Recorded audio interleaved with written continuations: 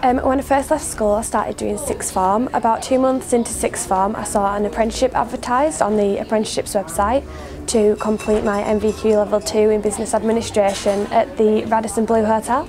So I did that on the year for a year and worked on the reception desk which I really enjoyed and got a um, really good sense of um, how to work well with customers. I looked on the Yorkshire Housing website and found the application form to apply to be an apprentice at the Home Improvement Agency in Skipton. So I applied, went for my interview and got the job there as well.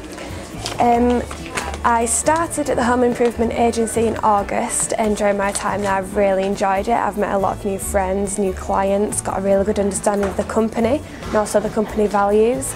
I've learned a lot of new skills and also the sort of people the HIA work with are vulnerable and elderly people. So at the end of the day when you know you've really helped someone you get have a really good feeling about yourself. Um, four months into my apprenticeship at the Home Improvement Agency, an opportunity arose for a new customer service advisor. I applied for this role and um, got that.